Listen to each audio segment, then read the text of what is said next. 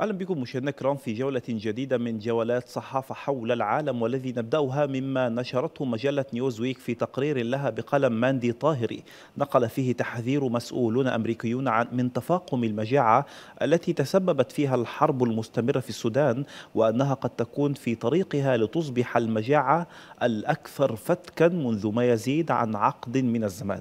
وفي التفاصيل ذكر الكاتب أن الحرب الأهلية المستمرة منذ 16 شهرا في السودان السودان بين القوات المسلحة السودانية وقوات الدعم السريع كانت لها آثار إنسانية مدمرة فقد نسح بسببها ما يقرب من عشرة ملايين شخص داخليا على الأقل وقتل ما يزيد عن 14 ألف شخص وفقا لما ذكرته الأمم المتحدة. وحددت لجنة مراجعة المجاعة التابعة للتصنيف المرحلي المتكامل للأمن الغذائي أن ما لا يقل عن 20% من الأسر تعاني من نقص حاد في الغذاء. ويعاني ما لا يقل عن 30% من الأطفال من سوء التغذية الحاد ويتجاوز معدل الوفيات اليومي شخصين لكل عشرة آلاف شخص.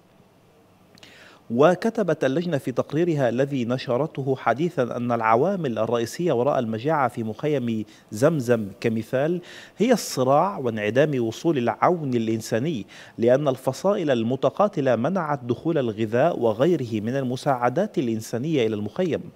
وقالت سامانثا باور مديرة الوكالة الأمريكية للتنمية الدولية في بيان إن هذه المجاعة من صنع الإنسان بالكامل بدعم من رعاة خارجيين حيث يستخدم التجويع كسلاح حرب ويمنع أو أيضا يمنع دخول الغذاء ووصول المكملات الغذائية الطارئة المنقذة للحياة إلى المحتاجين في السودان. وأشارت المجلة إلى أن حجم الجوع في البلاد أصبح هائلا بشكل كبير وتقدر الأمم المتحدة أن حوالي 25.5 مليون شخص يشكلون أكثر من نصف سكان السودان يواجهون حالة من الجوع الحاد والشديد. منهم أكثر من 755 ألف شخص على شفا المجاعة المحتمة.